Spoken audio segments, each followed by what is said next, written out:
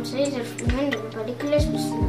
Pada hari ini, saya akan menyebut kata-kata Nalib Diri sama Sarah. Kitabun, buku. Daftarun, buku latihan. Kolamun, pen. Kolam talwinin, pensel warna. Kolam rasasi, pensel.